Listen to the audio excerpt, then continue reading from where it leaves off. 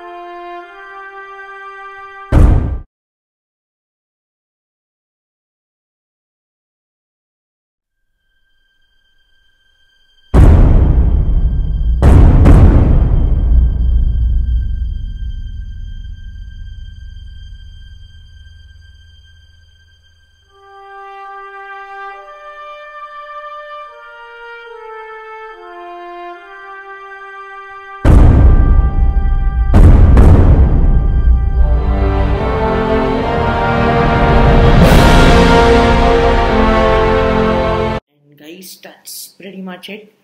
Uh, gets the Marvel characters by their eyes. So if you have liked this video, please like, share, and subscribe, and also subscribe for more.